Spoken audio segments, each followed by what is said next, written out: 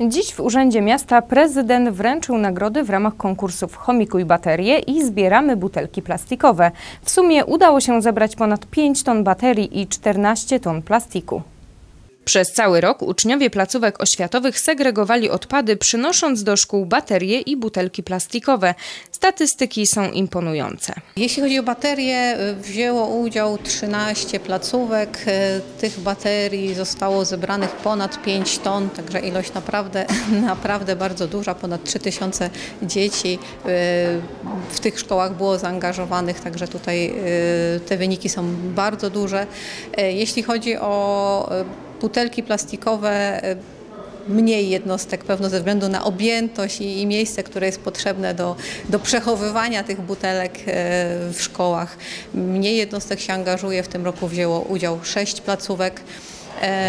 I, ale zebrano prawie 15 ton tych butelek. W konkursie Chomikuj baterie zwyciężyła szkoła podstawowa numer 3, gdzie średnio każdy uczeń zebrał kilogram i 780 gramów baterii oraz dom dla dzieci z wynikiem 1,3 kg na dziecko.